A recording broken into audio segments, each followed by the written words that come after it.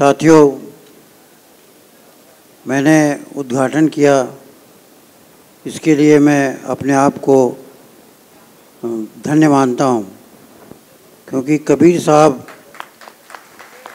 बाबा साहब आम्बेडकर के गुरु थे। और बाबा साहब आम्बेडकर कबीरपंथी थे और उन्होंने उस आधार पर संविधान की रचना किया।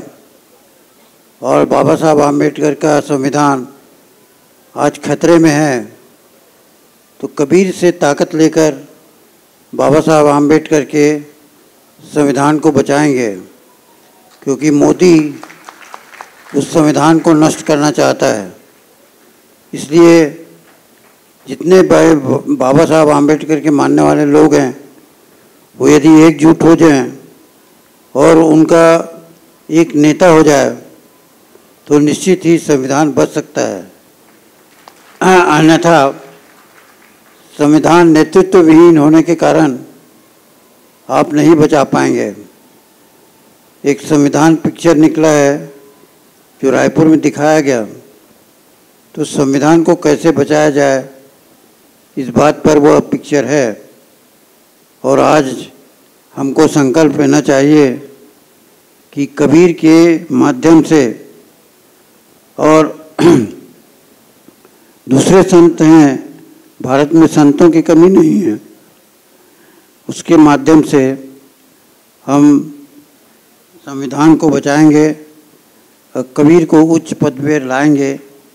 इन्हीं संकल्पों के साथ मैं अपनी आपसे अपेक्षा करता हूँ कि आप सब इसमें सहयोग दें और पूरा महाराष्ट्र में एक बवाल पैदा हो। और मैं यहाँ जो आपके पास आया हूँ, वो महाराष्ट्र में 48 लोकसभा सीट है।